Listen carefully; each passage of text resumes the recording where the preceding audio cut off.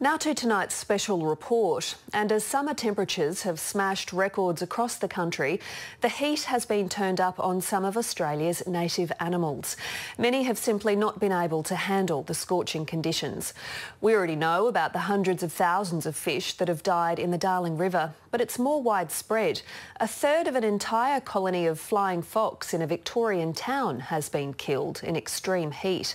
Wild horses have died of thirst near Alice Springs. And there are warnings that koala populations may be unable to recover after bushfires and 40 degree temperatures in Queensland. Rainforests have long been a refuge for native animals, but is all that changing? Ben Deacon travelled to the World Heritage listed wet tropics in far north Queensland to investigate. The forests of far north Queensland are one of Australia's natural treasures.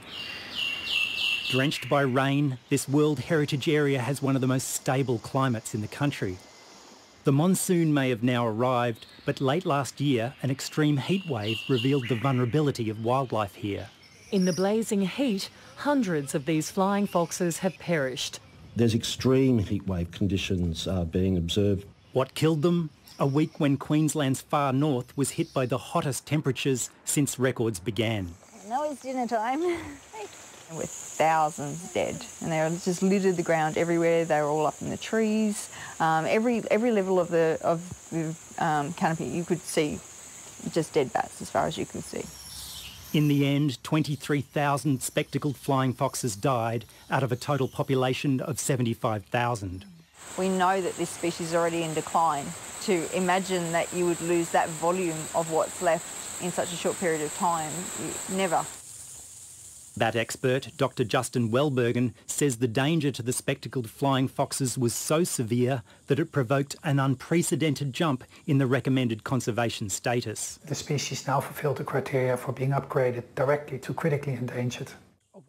Dr Welbergen has used technology such as thermal cameras to identify the precise threshold between life and death for flying foxes. Almost all flying fox die-off events occur above 42 degrees.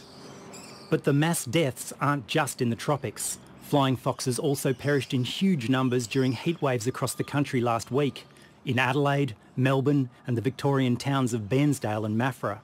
Given that extreme heat events are expected to increase both in frequency and intensity, this doesn't bode well at all for those species. Other animals have fared even worse. Scientists voiced concern years ago that the white lemuroid possum could become Australia's first mammal to become extinct because of global warming. It's survived so far, but the Cairns heatwave has raised fresh fears.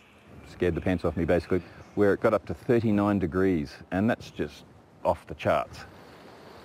Biologist Steve Williams is an expert in tropical wildlife and is back in the rainforest looking for the vulnerable possums. His research shows they may be just one heat wave away from extinction. We're talking animals that die when it gets above 28, 29 degrees. So 39 is just lethal. After a previous heat wave in 2005, the white lemuroid possum wasn't seen in Mount Lewis for seven years. They haven't evolved mechanisms to cool their body down. They don't sweat, they don't pant, they don't have a way to keep cool, and they've never had to. We've systematically seen species disappear from the low elevations and getting pushed further up the mountain. As animals in the wet tropics move to higher ground, these cloud forests are literally the end of the line. But for creatures who call this place home, there's nowhere else to go. The heat is becoming more difficult to escape right across the country. The Bureau of Meteorology says January was the hottest month since records began. And as temperatures hit new heights, Justin Welbergen is worried other native wildlife are suffering too, but maybe less visible. If you think about a koala or a possum or, or some, another animal that with a more sort of solitary or cryptic lifestyle, who's going to be there you know, to see a koala fall dead from a tree during extreme heat events? Whether they're seeing it directly or not, scientists are worried about the future for some of Australia's unique animals. Ben Deacon, ABC News, Mount Lewis, Queensland.